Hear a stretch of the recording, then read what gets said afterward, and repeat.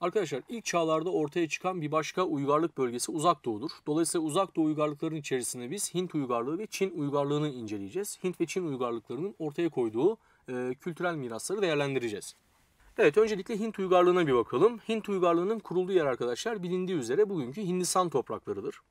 Ee, yani Indus ve Ganj nehirleri üzerinde kurulan bir uygarlıktır. Ee, Indus ve Ganj nehirleri e, olan bölge yani Hindistan toprakları verimli topraklar ve iklim koşulları insan yaşamına elverişlidir. Verimli topraklar ve iklim koşullarının elverişli olması sebebiyle de tarih boyunca çok fazla kavimin istilasına uğrayan bir bölgedir. Milattan önce 1500'lerde buraya gelen Ariler Hindistan'da kas sistemi adı verilen sosyal bir sınıflaşma sistemini ortaya koymuşlardır.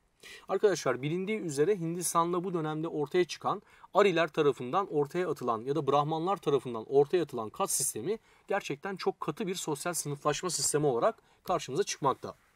Kas sisteminin sınıflarına bakıldığında toplumun en tepesindeki sınıf Brahmanlar olduğunu görüyoruz. Yani din adamlarıdır. Bunun dışında ikinci grup Kşadriyalar yani askerler sınıfı bulunmakta. Sonra tüccar ve çiftçi sınıfı olan Vaisyalar, zanaatkar ve işçi sınıfı olan Südralar ve kas sisteminin dışında tutulan Paryalar adı verilen köleler bulunmaktadır. Arkadaşlar kas sisteminin çok katı bir sosyal sınıflaşma olduğunu söylemiştik. Kas sisteminde meslekler babadan oğula geçmektedir. Yani insanların bireysel özelliklerine, bireysel yeteneklerine çok fazla dikkat edilmez. Baba hangi meslektense çocuk da o meslekten olmak zorundadır. Kesinlikle arkadaşlar sınıflar arası bir geçiş ya da evlilik kesinlikle yoktur. Bu da tabi tarih boyunca Hindistan'da toplumsal birlik ve dayanışmayı her zaman engellemiştir. E, kas sistemi aynı zamanda Hindistan'da milli birliği ve bütünlüğü de engeller. Bu yüzden dış saldırılara karşı, istilalara karşı Hindistanlıların milli birliğini koruyamamalarına ve istilalara uğramasına da sebep olmuştur. Arkadaşlar uzak doğu uygarlıklarından bir diğeri de Çin uygarlığıdır.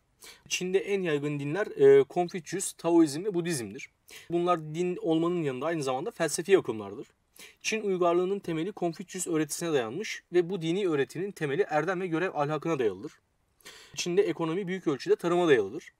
E, bu anlamda Çin uygarlığı, Çin toprakları tarıma elverişli topraklardır. Tarımın yanında iplik, ipek, porselen ve kumaş üretiminde yapılmıştır. Ve Çinli tüccarlar İpek yolu aracılığıyla Çin'den Roma'ya kadar olan bölgede ticari faaliyetlerde de bulunmuşlardır. Arkadaşlar e, Çin'in dünya tarihi ve medeniyeti açısından en önemli özelliklerinden biri de Çin'den dünyaya yayılan teknik buluşlardır. Mürekkep, kağıt, barut, pusula ve matbaa e, Çin'den dünyaya yayılmıştır. Özellikle Çin'den bu teknik buluşlar İslam dünyasına 751 yılında meydana gelen Talas Savaşı ile İslam dünyasından da Avrupa'ya Haçlı seferleriyle taşınarak çeşitli ekonomik, sosyal, kültürel ve siyasi gelişmelere de aynı zamanda sebep olmuştur.